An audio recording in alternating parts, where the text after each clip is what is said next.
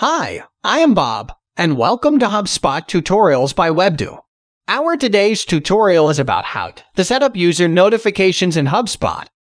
User notifications alert you when various actions or activities occur in your account.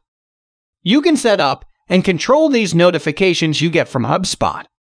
Let's see how can you set them up. Log into your HubSpot account and click on the gear icon in the upper right corner. In the left sidebar menu, navigate to Notifications. You will see Email, Desktop, Another App, and Mobile App tabs in the main panel. Click these tabs to set the type of notifications you would like to receive. Here I'm selecting the Email tab. Switch on the Email toggle first. Then scroll down and select the tools for which you want to receive email notifications for.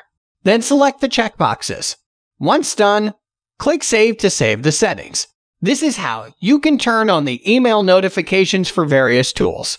In the same way, set the notifications for desktop, other integrated apps, and mobile apps. Thanks for watching. Feel free to ask any questions in the comment section, and we will be happy to answer. If you liked the video, give us a thumbs up and press the bell icon to subscribe to our channel. To know about our HubSpot services, visit us on www.webdew.com.